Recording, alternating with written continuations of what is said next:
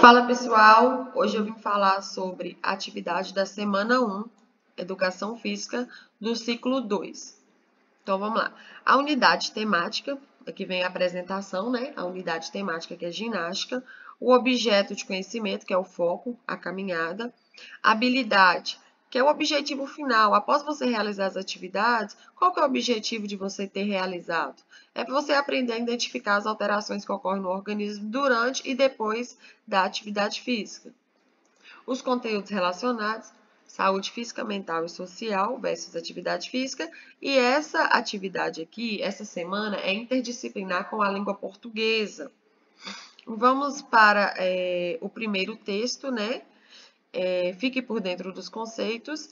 E o texto vem nos trazendo sete dicas para cuidar da nossa saúde mental em tempos de pandemia. O que vocês vão fazer inicialmente é uma leitura com muita atenção.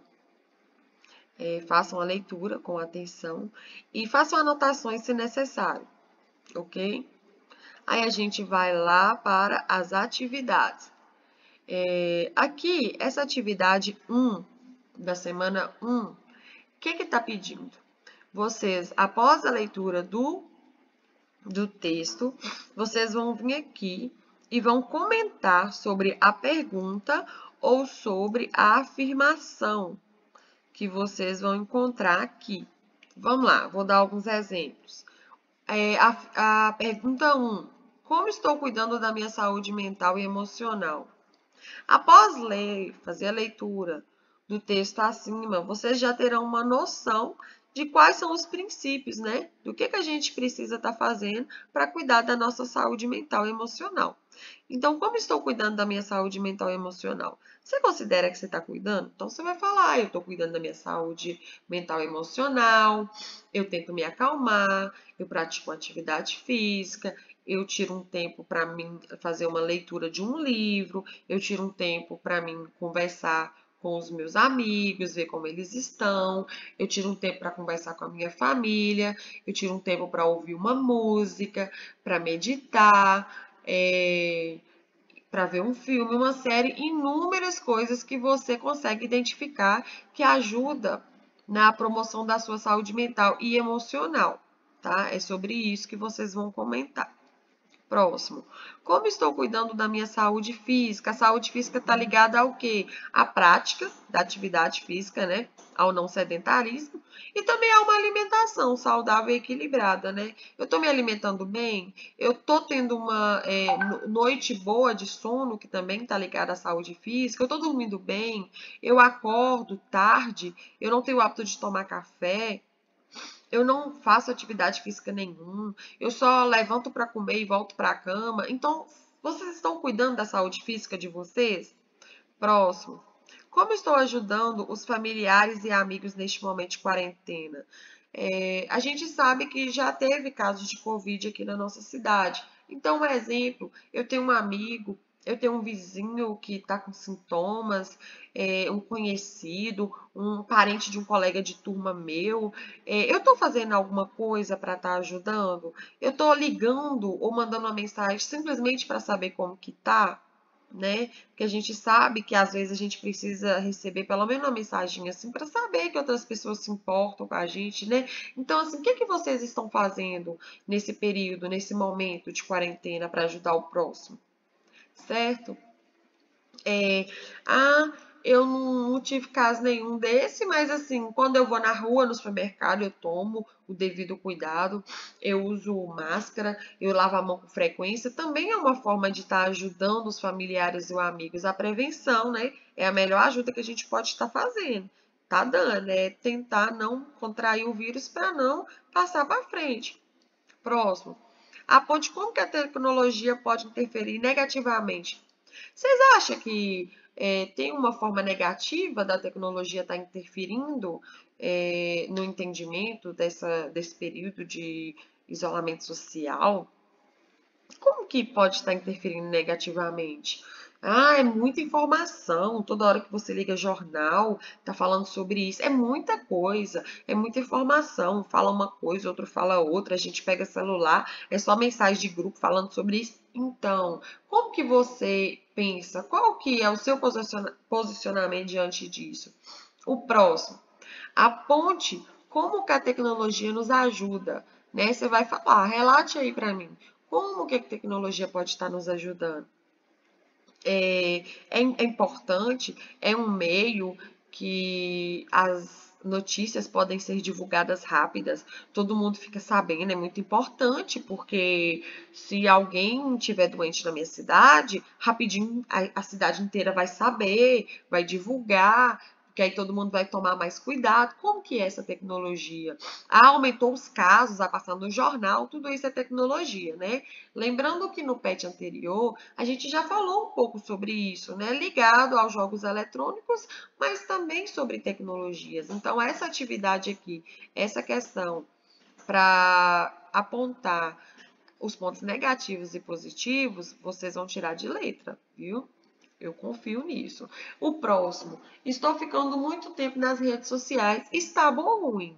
Vocês estão ficando muito tempo na rede social? Vocês vão falar sim ou não. Isso é bom ou isso é ruim? Só vocês é, pararem um pouco para refletir, né? Sobre as sete dicas. E vocês vão conseguir analisar aí se isso é bom ou se isso é ruim. No entendimento de vocês. Essas questões questões, desculpa. Essas questões são pessoais, tá? São pessoais. Após a leitura daquele texto, é, vocês vão dizer para mim qual que é o posicionamento de vocês em relação é, a essas questões aqui. Mas é bem pessoal, bem tranquilo de fazer. Aí vem aqui, vamos praticar. Técnicas para diminuir a ansiedade. Coisas para lembrar enquanto você está respirando. Tente inspirar puxando o ar pelo nariz e expirar soltando o ar pela boca. Isso aqui é uma técnica para você diminuir a ansiedade, aqueles momentos que você está muito ansioso. E aqui é só uma dica, né? Vamos praticar. Pratique sozinho, pratique com um colega, pra, ensine a mãe a praticar. É, Deixa eu dar uma olhadinha aqui. Aqui não tem. É, nesse, nessa atividade aqui, é, eu vou disponibilizar para vocês um link para vocês estarem vendo algumas dicas de como que faz para diminuir a ansiedade. E uma delas, além da atividade física, né, é a meditação. É uma prática assim, muito interessante para esse tempo que a gente está vivenciando. Aí eu vou disponibilizar para vocês é, alguns links pra, de meditação orientada para vocês estarem fazendo aí na casa de vocês. Então, entendi da atividade 1, atividade 1, eu acredito que está de claro entendimento, né? Vamos lá. Atividade 2. Em relação ao convívio social e à saúde mental, elabore parágrafos padrão de 10 a 15 linhas, interligando as informações do texto. Como cuidar da saúde mental durante a quarentena? E as críticas contidas na charge abaixo.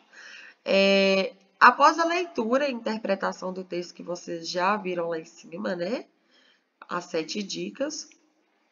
Vocês vão fazer a leitura aqui da charge e vão construir um texto colocando a sua posição em relação a isso, o que, que você pensa, né?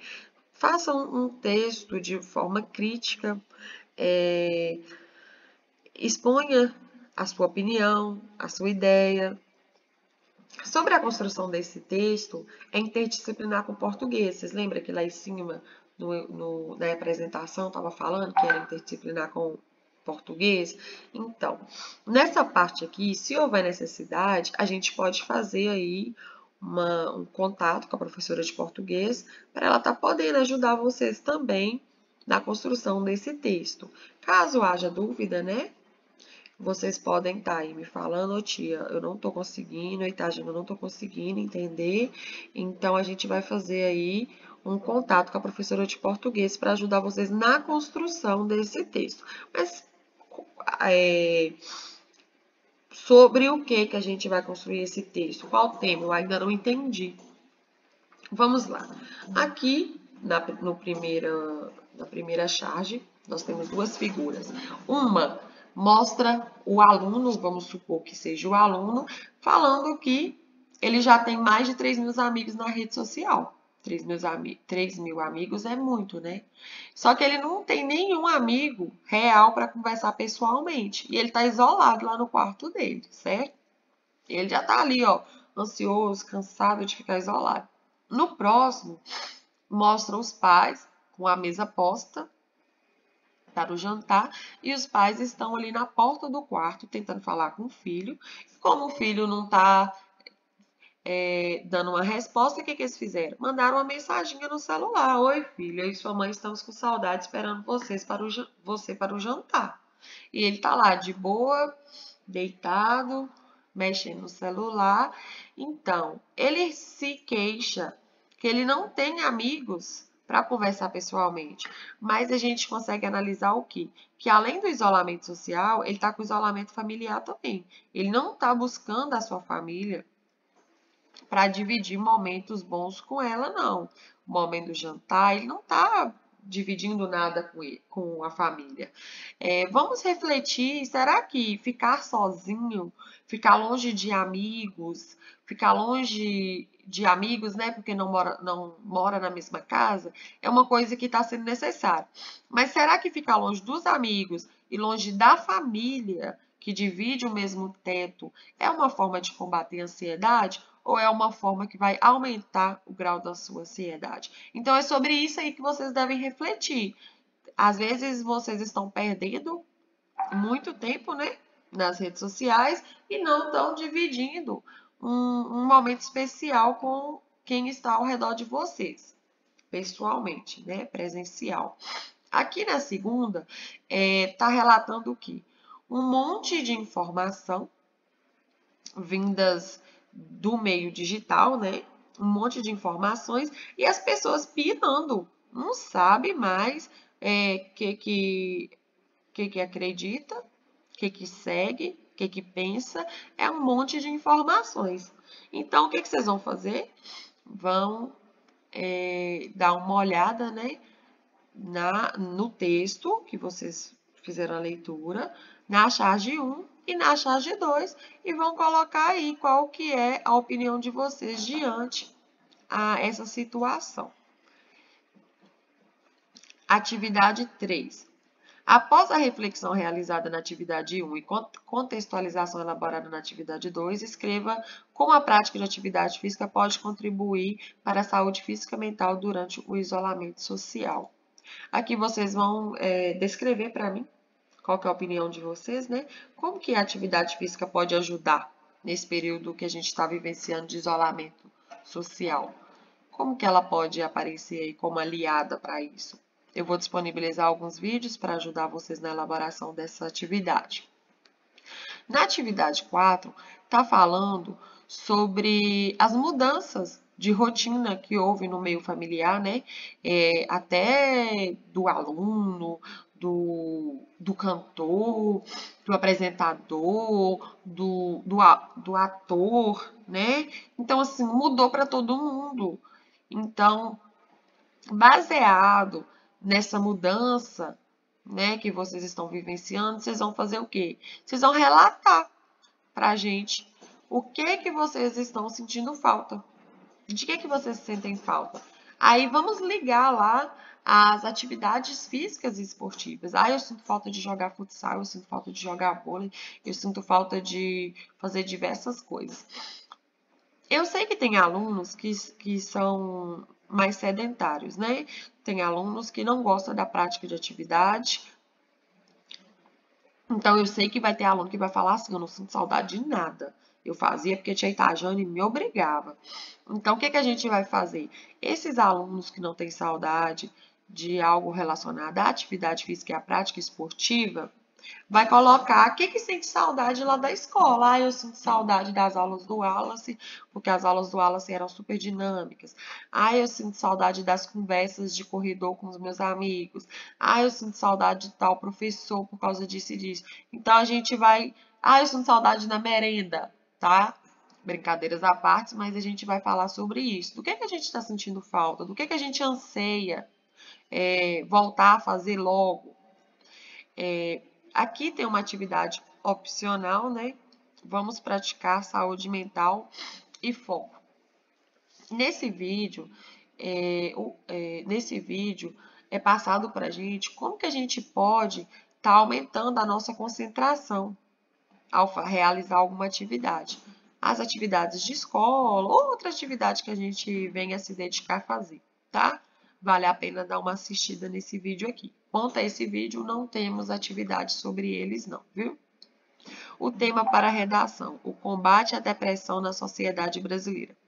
Infelizmente, o número de casos de suicídio tem aumentado. Em 2016, segundo o Ministério da Saúde, foi registrado um caso a cada 46 minutos. O assunto ainda é tabu, o que torna ainda mais necessário pensar em políticas públicas para combater a depressão e suas consequências. Elabora um texto dissertativo, argumentativo, sobre como é possível prevenir a ansiedade e a depressão na sociedade brasileira. Esse texto aqui para redação é baseado no que vocês vão fazer aqui na atividade 2, tá bem? É uma complementação, é, mas é outro texto, viu, gente? Não é o mesmo, não. Vocês vão fazer uma aqui e vão fazer uma aqui. Aqui está pedindo de 10 a 15 linhas. Aqui eu vou pedir para vocês de 5 a 10 linhas. Combinado assim, de 5 a 10 linhas. É, eu espero que tenha ficado claro que vocês tenham entendido, que tenha clareado a mente de vocês para estar tá realizando as atividades. É, eu quero deixar é, claro para vocês que eu estou à disposição, tá? Para estar tá esclarecendo as dúvidas, para estar tá ajudando a fazer as atividades. Pode me chamar no grupo, no privado. Eu estou à disposição de vocês. Eu desejo a vocês um bom estudo, que seja produtivo e que seja uma forma também né, da gente repensar o que, que a gente está fazendo para estar tá ajudando a superar esse momento de pandemia. E eu estou aqui à disposição de vocês. Estou com muita saudade de vocês, muita saudade mesmo de gritar com vocês lá na quadra, mandar fazer atividade lá sem vocês estarem com vontade, mas mesmo assim fazer. Estou com muita saudade de tudo isso, tá? É, eu peço a Deus que ilumine cada um de vocês, dê vocês muita sabedoria, é, que todos nós possamos passar por esse momento da melhor forma possível. E em breve estaremos todos juntos, se Deus abençoar, em nome do Senhor Jesus, né? E bons estudos e beijos para vocês. E dá um like aí no vídeo, é, para mim saber que vocês passaram por aqui, né? Se vocês tiverem gostado. E beijos, fiquem com Deus. Tchau, tchau.